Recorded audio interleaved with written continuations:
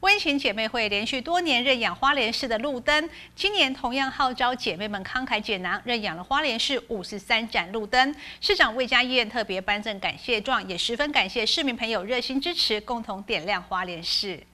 温情姐妹会多位姐妹们由县府前秘书长龙文清陪同，来到花莲市公所拜会市长魏家燕，也捐款五万三千元认养花莲市五十三盏的路灯。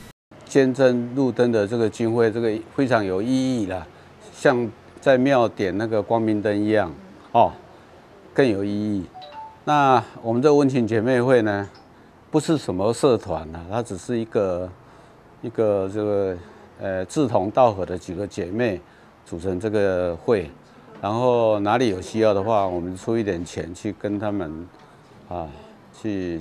救助他们啊。今天呢？啊，因为啊，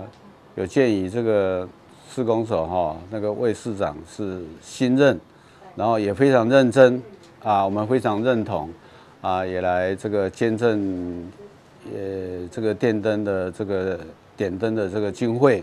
啊，这个钱不多了，抛砖引玉了，希望大家都来一起来共襄盛举。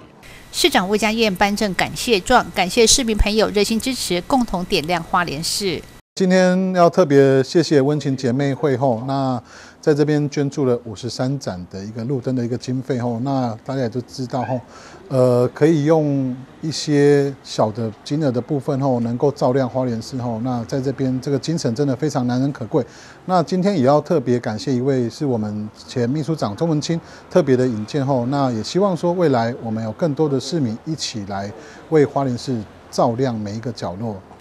花莲市一百一十二年路灯认养活动已经开始，一盏灯一年一千块钱，陆续有许多社团、企业和善心人士热情响应。市长魏家燕表示，认养路灯可以减轻市公所财政负担，也能够把节省下来的经费用在更迫切需要的建设。谢瑞会花莲市报道。